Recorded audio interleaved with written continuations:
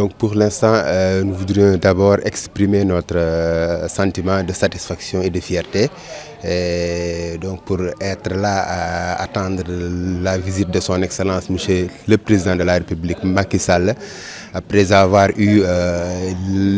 l'idée et, la générosité d'installer une université dans le Sine Saloum, notamment l'université du Sine Saloum, Elhadji Ibrahima Magnas,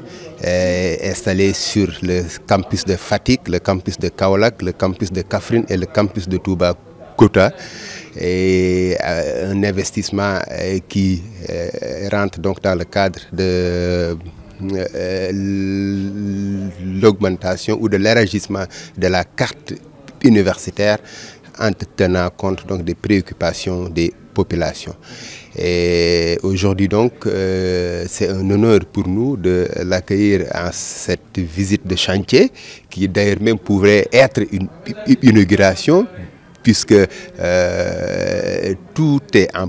place, euh, les constructions euh, sont à peu près à 100%, les équipements sont déjà sur place